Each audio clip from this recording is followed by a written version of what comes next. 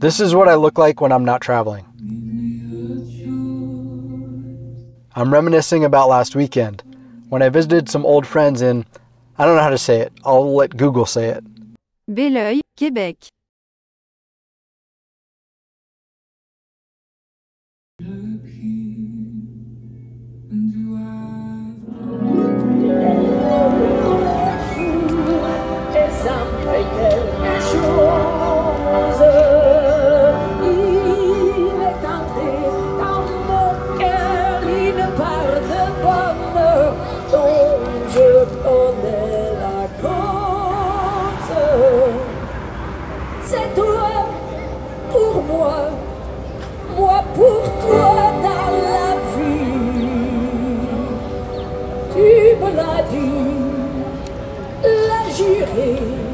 Pour la vie.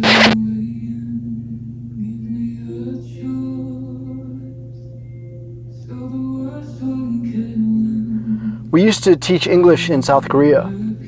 I don't know if that's still a popular thing to do.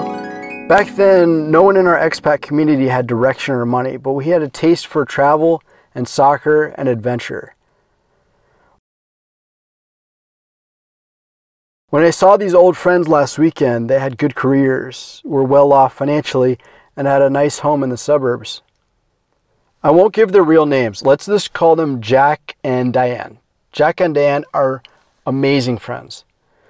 13 years ago, we took a vacation together from Korea to China, and we went to the silk market, and Jack spent 1,300 yuan on a silk Hugh Hefner robe.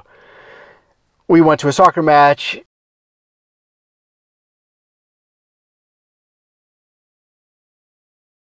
Ate strange food,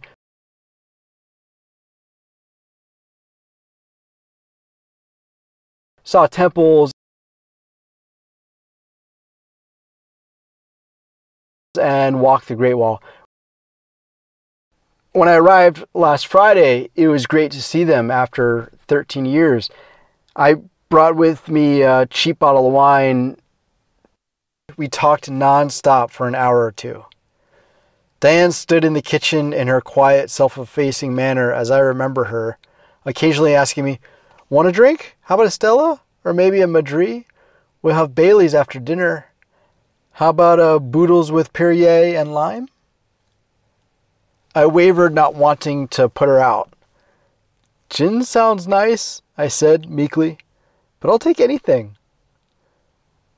You want a gin? You're getting a gin. We're a gin house, said Jack. And then Diane made me the coolest, smoothest gin drink I've ever tasted. Every 15 minutes or so, she'd say, Let me know if you need a top up. Jack, I always remembered being shorter than me for some reason. When I saw him last week, after 13 years, he was taller than me. His hair had gone salt and pepper, and he had a well earned belly. You see, Jack is a dying supernova, and he wouldn't take offense to me saying that. Jack drinks harder than any man I've ever known, like he's trying to quench a fire inside. And he's got a British accent that I'm not going to try to model, but he speaks French fluently and has traveled to over 60 countries.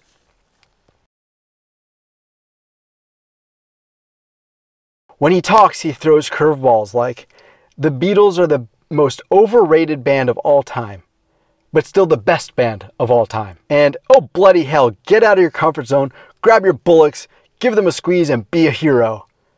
And he says, Andy, the measure for getting deeper into Africa is first your cell phone signal goes, then tourist shops disappear, then deep in the heart of it, you stop seeing Premier League jerseys. He's a huge Manchester United fan. Last Friday, after Jack got a few drinks in him, he put on Apple Music. We sat in his living room, him in his favorite chair and me on the sofa. Jack put on Jungleland by Bruce Springsteen and pointed out the brilliance of the lyrics. He says that Born to Run is one of the top 100 albums of all time. He sang along to Jungleland, and Diane laughed at his voice. You have to be careful though if you crack a joke at Jack. He's still the quick witted Englishman. The only thing that's changed is he wears more expensive eyeglasses. Jungleland ended, and Jack opened the sliding screen door and asked if I brought my swim trunks. and said we should go for a dip in his pool.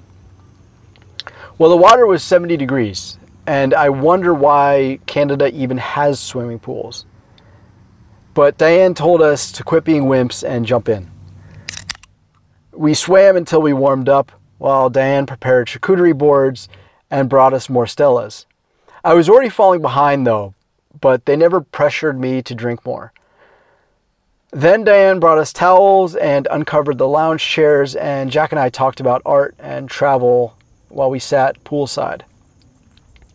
In Korea, our group of expat teachers would have discussions on deep intellectual topics, and Jack would talk about, for example, the merits of Marxism, his opinions on films or chess, and we would try to show off, all of us other teachers, brighter opinions, and we'd often come up short. See, when Jack gets to riffing, conversation goes for hours, and it's interesting, deep, stimulating conversation. It's like if you had a conversation with James Joyce or David Foster Wallace. And I don't mean to offer too high a compliment, but eh, the conversation is really, really good. Anyway, I've never seen anyone make him angry with words, though he respects trying. And I've never seen anyone stump him on a topic, though again, he respects trying. But you won't ever find him on social media. You probably wouldn't notice him at a cocktail party. And while I risk our friendship by making this video about Jack and his wife, I know they understand. Have you read Bill Bryson, the travel writer? If Jack and Bill Bryson were to meet and have a discussion about the world, that would cause a cosmic shift in the intellectual universe so powerful it might cause an earthquake. I credit Jack for pointing me to Tom Waits, Nina Simone, and the Velvet Underground. For the latter, he said Heroin is one of the greatest songs of all time, particularly because of the chaos of it. On Saturday, Jack and I sat poolside in the sun. He noticed my mind was elsewhere, and I told him it was because I'd met a French girl at a hostel a few days prior. Mate, the whole world knows you're always staring off into space, dreaming of frolicking through prairies with some bird or another, buying a cockapoo together, he said.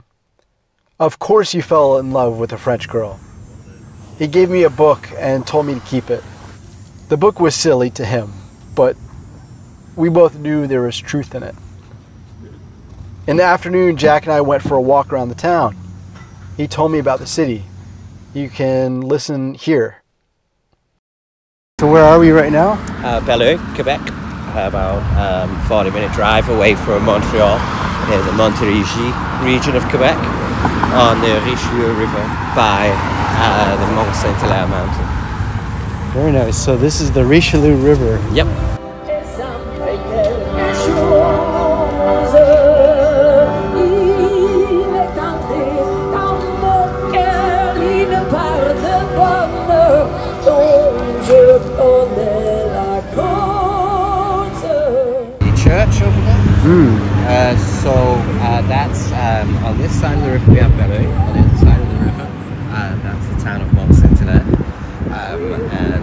Because we're in the province of Quebec, almost every town, no matter the size, will have a church in it.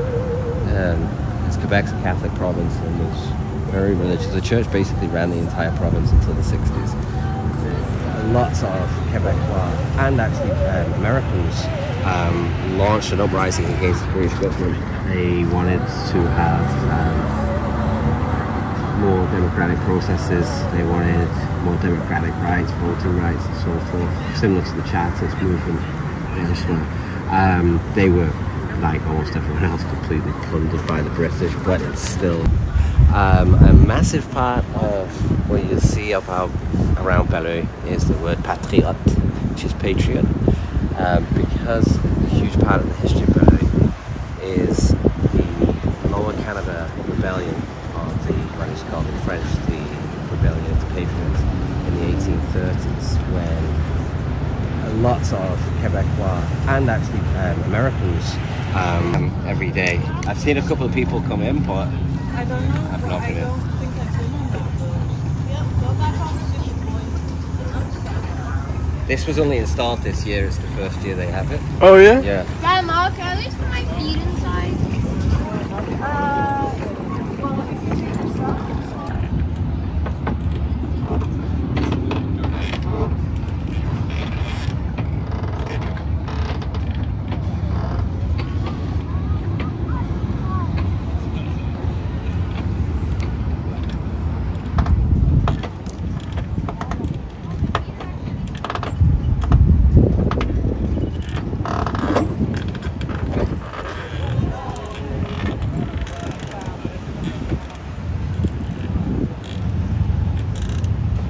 When we got back home, we sat on the porch and listened to crickets and talked. Diane made hamburgers and poured me a Bailey's on ice, while Jack played Barenaked Ladies and Nick Cave songs from his JBLs.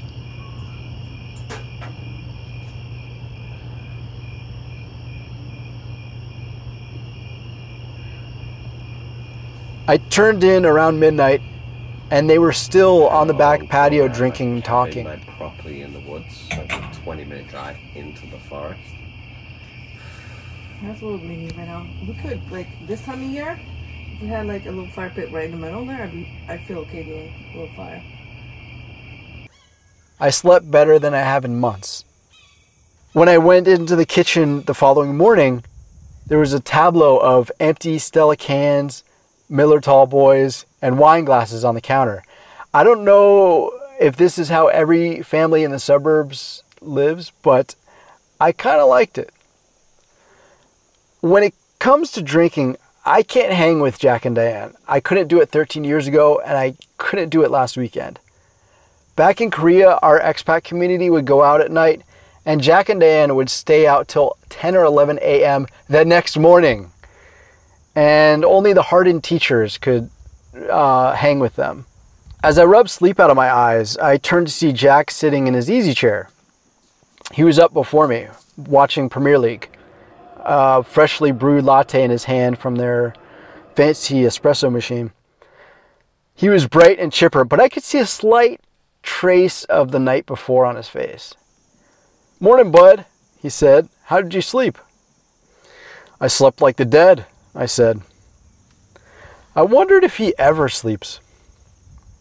Oh no, Xerxes, you have to make that bloody shot, you bellend, he yelled at the TV. Diane came out of the bedroom in slippers and a robe. Andy, would you like a cappuccino, a latte, an espresso, um, an Americano? Just a regular coffee would be great, I said. Do you guys think you'll ever get a dog? I asked. Fuck 'em, said Diane. We still like to travel. Do you take milk or cream? Both, I said. I want to move in. Be our guest, mate, said Jack. Set up a tent in our backyard. You can move into our pool house, suggested Diane. Do those nights back in Korea ever feel like a dream to you? I asked. They happened, said Diane, even though they felt surreal. That year had a big impact on my life, I said. You two did specifically. Your friendship found me in a dark place, a Korean pub in the furthest corner of the globe, and it taught me there were other wanderers out there like me. No one in your neighborhood knows how deep you two have gone, how much you've seen, the good and bad you carry with you, your kindness. But I know. It's been 13 years and I still may not fit in anywhere. But seeing you two here in the suburbs gives me hope. Anyway, it's a lot to ponder. Don't ponder too hard while you're driving or you'll cause an accident, said Diane. Give me a hug, mate, said Jack. And remember, you can check out anytime you like, but you can never leave. Despite his reassurance, loneliness found me as soon as I left the driveway, and I felt 13 more years wash over me like they had already happened. It's time to plan another trip.